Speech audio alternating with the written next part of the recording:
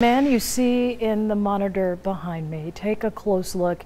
He holds a very unique place in history. Henry Parham is the last living African American D Day combat veteran. He shared his war experience and what happened when he got back home with reporter Gary Tuchman.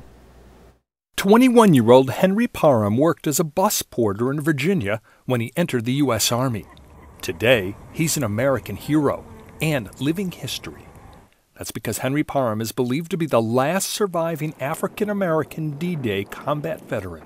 You're going to be 98 in November. Yes. That's almost a century. Oh, yes. And you've seen a lot. Uh, yes, I have. No, you don't want to go down the steps. So Henry Parham, who lives in Pittsburgh with his wife Ethel, vividly remembers fellow soldiers drowning off Omaha Beach and the Nazi air bombardments. Of course, I was scared for my life, sure. He was part of a most unique Army combat unit, the 320th Barrage Balloon Battalion. The mission?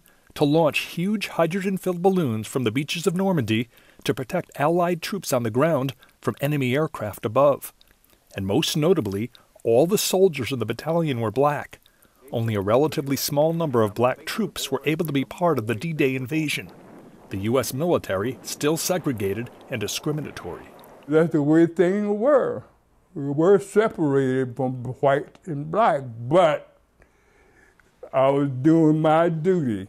He has always tried to focus on the positive. When you came back home after the war, fighting for Americans' liberty, fighting for freedom, and realizing when you got back, you still didn't have that same liberty and same freedom that white Americans had. Were you disappointed? Were you surprised? Or did you expect that? Well, no, I wasn't disappointed because I grew up under those conditions. His wife of 45 years says her husband's optimism has served him well.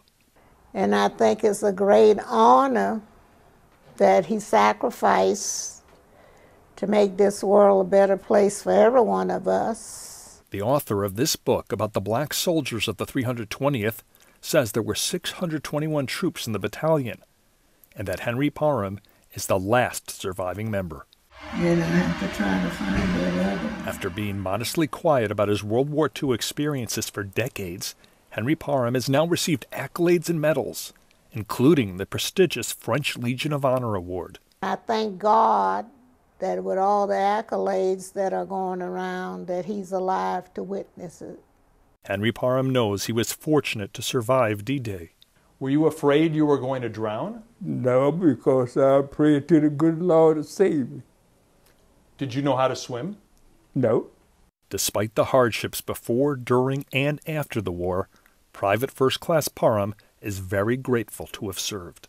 I did my duty. I did what I was supposed to do as an American. An American hero. Hmm. Wow, what a great story.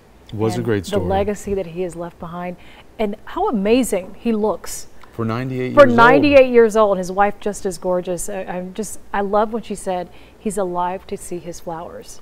Yeah, and the accolades are well deserved for him. Yeah. Uh, a beautiful story by Gary Tuchman.